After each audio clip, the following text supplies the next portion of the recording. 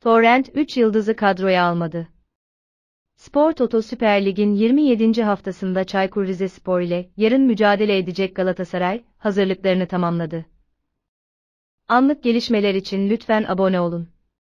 Express Haber sundu.